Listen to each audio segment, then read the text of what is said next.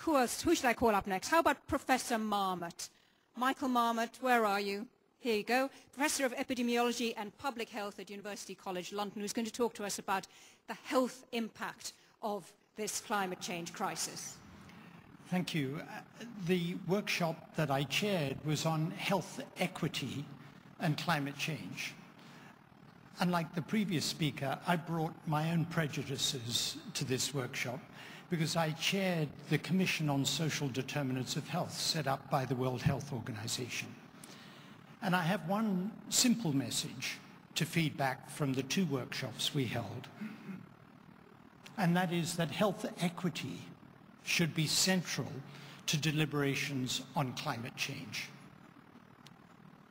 I could stop there, but I'll give you some of the argument. And there are two reasons, and I'll elaborate on those. Let me say at once that in the workshop we took the view that meteorologists and physicists are splendid people. But just as I would say that the health of populations is too important to be left to my profession, medicine, so is the issue of climate change too important to be left to the physicists alone. The theme of this forum, which was echoed in our workshop, is that people matter. Let me say what we meant what we mean by health equity. I need to emphasize at the outset that health equity and health inequity are not the same as equity in access to health care. Equity in access to health care, very important. Health equity and the inequities in health that we see we said in the report of the Commission on Social Determinants of Health arise because of the circumstances in which people are born, grow, live, work and age, and in the fundamental drivers of those conditions of daily life. We said in the report of the Commission that social injustice is killing on a grand scale. And this is very much echoed in what we were trying to do in the workshop. So let me illustrate what we mean. The good news is that in the OECD countries, life expectancy has been improving about one year in four. Six hours in 24 hours means if you spent six hours at this conference today, you got it for nothing. In India, it's been improving about one year every two and a half years. If you spent 9.6 hours at this meeting today, you got it for nothing. So that's great. The problem is it's most unequally distributed. There's as much as a 50-year difference in life expectancy among countries. Within the city of London, where I live and work, there's a 17-year gap in life expectancy, about one hour's cycle ride. So we have these gross inequities, and they're not due simply to inequities in healthcare. They're the circumstances in which people live and grow. So the first reason for bringing the agendas together of climate change and health equity is that taking action on health equity implies taking action on the social determinants of health, and that implies a fundamental change in the way society is organized for countries and indeed the way our global society is organized. What I get from the climate change discussions is that taking action on climate change requires a fundamental change in the way societies are organized and indeed the way our global society is organized. If we're going to have fundamental changes for one reason and fundamental changes for another reason, please bring these agendas together.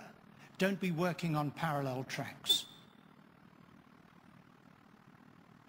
We said in the Commission on Social Determinants of Health that we wanted to close the health gap in a generation. Isn't that rather similar to the climate change agenda? It was described in our workshop as a slow-burning emergency. We emphasized health equity now. Climate change emphasizes equity across the generations. Let's bring these agendas together.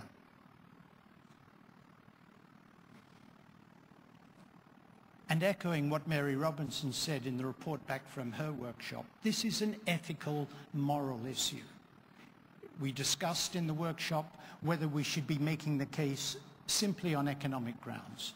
And we said very clearly we should be making the case on moral grounds. Health equity is a moral issue.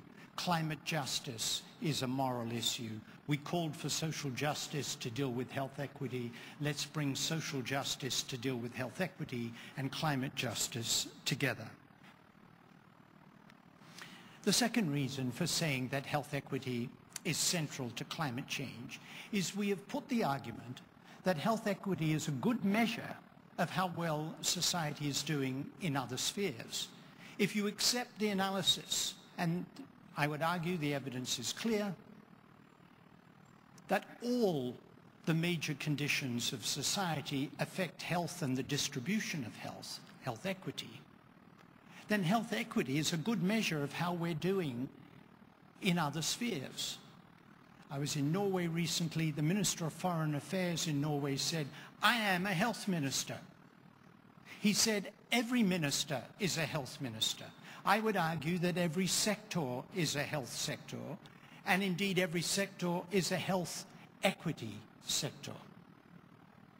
Climate change will be reflected if the steps that are taken to mitigate and adapt it will be reflected in health equity and improvements in health equity. Food, agriculture, energy, transport, all key to the climate change agenda, all key to the health equity agenda.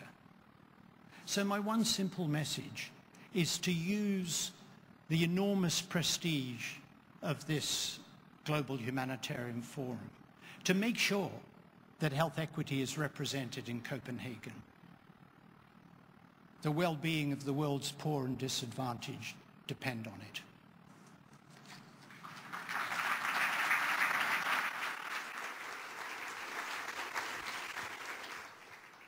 Professor Marmot, thank you very much. And he wasn't in the least bit biased, was he?